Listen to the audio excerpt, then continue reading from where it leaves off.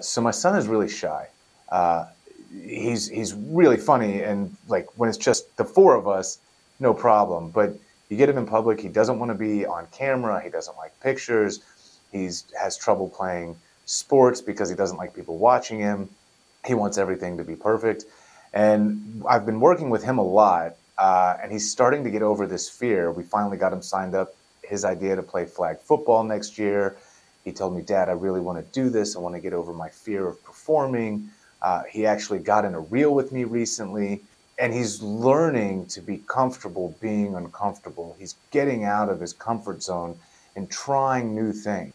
Being a leader of a mortgage company or a leader in general is there's a lot of similarities there, right? Like in these times, you have to be comfortable being uncomfortable.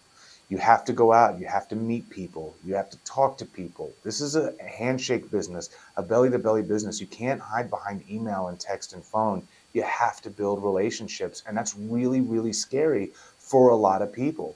What do I say? What do I talk about? What am I going to do? Just go and do it. Talk about Game of Thrones. Talk about the Dallas Mavericks.